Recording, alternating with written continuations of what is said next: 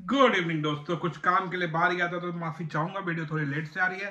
तो आज world number one team ने वर्ल्ड के सबसे लोएस्ट टीम को हरा दिया है और खुशी और हर्षोल्लास की लहर पूरी सोशल मीडिया और पूरी पाकिस्तान में फैल गई है कि कैसे पाकिस्तान टीम ने धूल चटाई ऐसी ऐसी टीम को जो जो टीम 2003 से लेके अभी तक 2003, 2007, 2011, 2015, 2019 हर एक वर्ल्ड कप में और 2023 उनका काम यही है आओ और दो पॉइंट दो। तो पाकिस्तान टीम आपने कुछ बहुत बड़ा हर्षोल्लास नहीं मनाया है बहुत बड़ा कुछ अचीवमेंट नहीं किया है। आज के मैच में आगे बढ़ने से पहले सबसे पहले मैं पूछना चाहूँगा उन इंडियन क्राउड से जो पाकिस्तान पाकिस्तान के नारे बांग्लादेश से, से ज़्यादा कलकत्ता में लगा रहे थे। भैया आप पाकिस्तान पाकिस्तान के नारे कलकत्ता में लगा रहे हो? वो लोग जो भाजपा समर्थक है जो बोलते ना इनको पाकिस्तान चले जा रहे थे सही में इनको पाकिस्तान चले जा रहे थे। क्योंकि पाकिस्तान अभी उस हद उस उससे क्रिकेट नहीं खेल रही जो उनको सपोर्ट किया जाए। बताओ क्या कर रही है पाकिस्तान टीम जो आप उनको सपोर्ट कर रहे हो? अभी से नहीं लास्ट एक साल में बता दो, पाकिस्तान टीम ने ऐसा क्या अचीवमेंट किया कि आपने उन्हें सपोर्ट करने पे मजबूर हो गए हो ओडीआई में?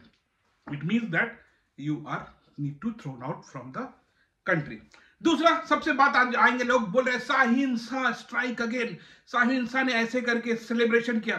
भैया, जो बोल रहे साहिन शाह अच्छे बॉलर है, वो रख ले साहिन शाह को बुल्ले में मेरे।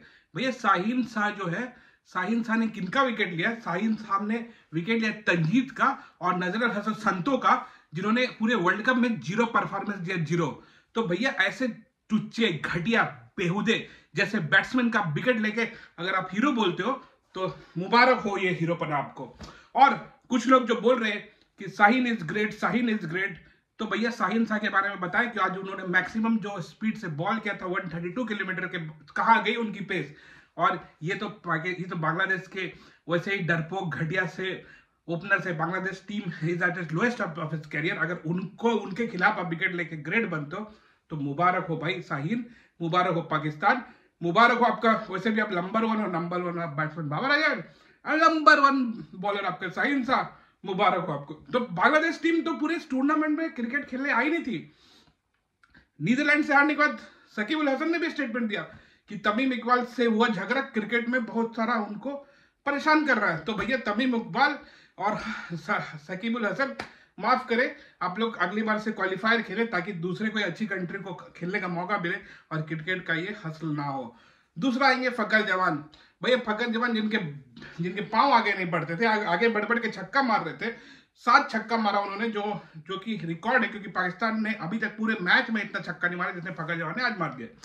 पाकिस्तान मीडिया बहुत खुश है कि फकर जवान छक्का मार दिया। भैया, किसको छक्का मारा तुम लोगों ने?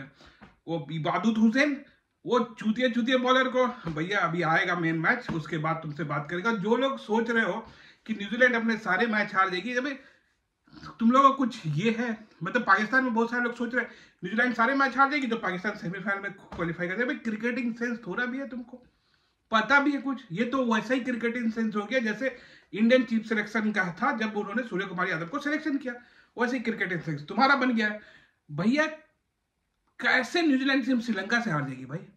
कैसे हार जाएगी? और कैसे तुम जीत जाओगे भाई कैसे सोच लिए कि तुम जो अभी तुम्हारा जो दो मैच बचाओ न्यूजीलैंड के साथ है, तुम न्यूजीलैंड से मैच जीता होगा। तो भैया एनीवे मुबारक हो आपको ये ये फेक अगेन एक फेक जीत, और मुबारक हो पाकिस्तान आपको ये फेक जीत। और तुम जो सोच रहे हो ना, इफ्तिकार चाचू से पहले स्पेल में बॉलिंग करवा के हीरो बन रहे हो तो भैया क्या घंटा तुम बॉलिंग करवा के पहले स्पेल दूसरी टीम आएगी, एक ओवर में तुमको छत्तीस रन मिल देगी इफ्तिकार चाचू को। और दूसरा, भैया नए, आज चार तीन तब्दीली की गई चीज़ में।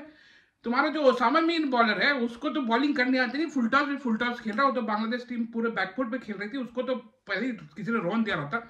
और तुम आगा सलमान को खिला के ओवर नहीं दे रहे हो। भैया क्या करना चाह रहे हो बाबर आज़म तुम? मतलब करना क्या चाह रहे हो? तुमको क्या लगा कि एक बॉलर को ओवर नहीं दोगे, तुम उसको डायरेक्ट खिला दोगे? अभी बड़े मैच में न्यूजीलैंड के तो पिला जाएगा वो। एनीवे मैं तो हमेशा से बोलता हूँ, पाकिस्तान टीम ने लास्ट तीन तीन मैच जीत लिया। Congress, Pakistan team for coming ninth in the table because tenth तो ऑब्वियसली बांग्लादेश आएगी। तो मिलते हैं नेक्स्ट वीडियो में। तब तक के लिए दुआ में याद रखें, और जो साले जो पाकिस्तान की जर्सी पहन के कलकत्ता में सपोर्ट कर रहे हैं, चले जाओ पाकिस्तान।